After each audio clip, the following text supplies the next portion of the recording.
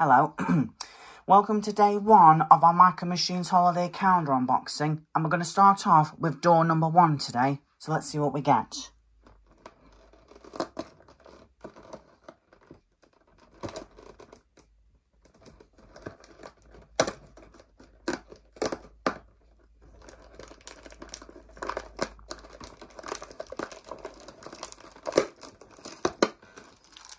And we have a Cena.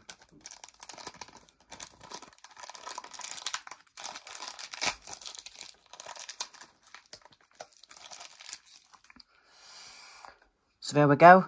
This is the, this is door number one in the Micro Machines holiday calendar. We have a green we have a green Cena here with some nice looking yellow decals.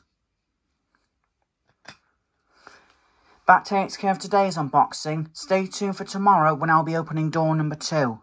Bye.